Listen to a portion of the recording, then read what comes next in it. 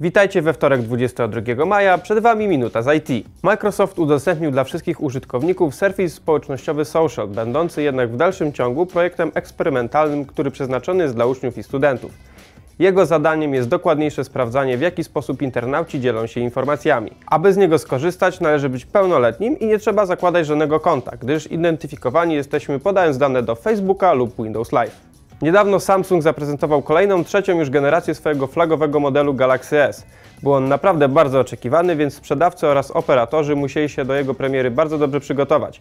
Według nieoficjalnych danych przedsprzedaż Galaxy S3 przekroczyła 9 milionów egzemplarzy, ale od dawna było wiadome, że model ten będzie ogromnym hitem. Teraz pozostaje nam tylko czekać na odpowiedź Apple i premierę nowego iPhone'a. Wczoraj po południu władze Pakistanu wydały wszystkim lokalnym dostawcom internetu polecenie, aby natychmiast zablokowali użytkownikom dostęp do Twittera. Powodem tak radykalnej decyzji miały być wpisy dotyczące konkursu na przedstawienie proroka Mahometa, co w islamie jest uznawane za bluźnierstwo.